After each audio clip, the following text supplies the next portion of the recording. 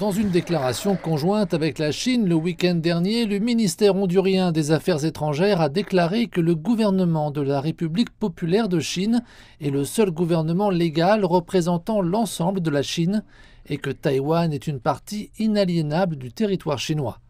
Dans la capitale, Tegucigalpa, les habitants espèrent que le nouveau paysage diplomatique apportera des avantages économiques.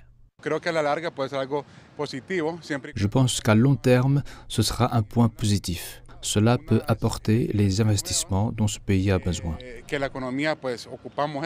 Eh, les relations diplomatiques officielles avec Beijing étaient une promesse faite par la présidente Xiomara Castro lors de sa campagne électorale de 2021 le Honduras entretenait des liens avec Taïwan, une relation qui a pris fin samedi lorsque le ministère des Affaires étrangères de ce pays a publié une déclaration établissant des relations diplomatiques formelles avec Beijing.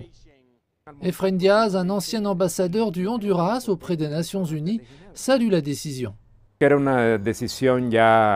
C'était une décision nécessaire.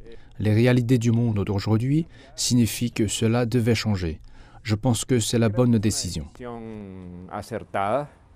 En Amérique centrale, seuls le Belize et le Guatemala restent désormais alliés à Taipei. Ricardo Salgado, qui est le ministre hondurien de la planification stratégique, affirme que cette nouvelle ère de relations transpacifiques reflète les aspirations de son gouvernement.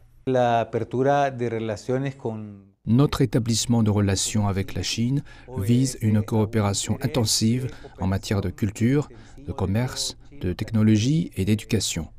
Nous avons beaucoup à apprendre du développement de la Chine et nous pensons que ce modèle est essentiel pour l'éradication de la pauvreté. Les États-Unis sont un pays qui jette un regard méfiant sur ce changement, malgré le maintien de ses propres relations avec Beijing depuis 1979 Washington a réagi avec inquiétude lorsque d'autres nations ont fait de même.